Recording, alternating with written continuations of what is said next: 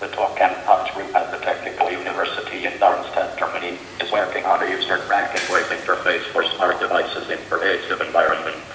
The ultimate goal is to provide an API for smart devices to register their camera in the environment and be notified about conforming occurrences.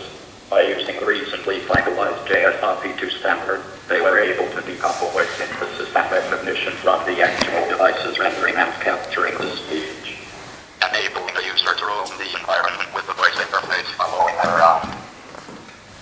The suitability of speakers and microphones to render the synthesized speech and utterances is determined by the user's proximity.